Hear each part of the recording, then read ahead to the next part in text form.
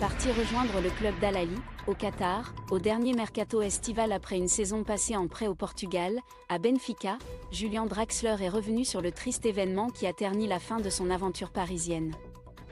Le 15 août dernier, cet homme avait été interpellé alors qu'il préparait un cambriolage à son domicile.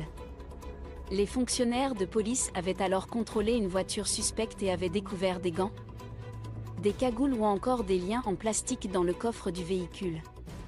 Juste avant de partir au Qatar, des gens sont venus à ma porte, et dans leur voiture, ils n'avaient pas de menottes, mais des cerclables pour nous immobiliser, a raconté Julien Draxler à la chaîne télévisée Sky Sport.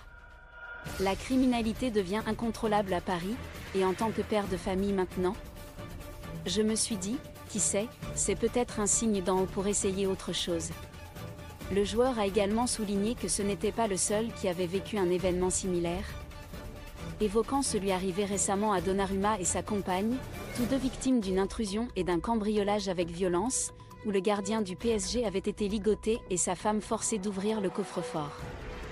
L'ancien joueur du PSG a également publié un post sur le réseau social LinkedIn il y a quelques jours où il a admis que son désir de s'engager au Qatar était aussi motivé par l'aspect financier, après 12 ans en Europe.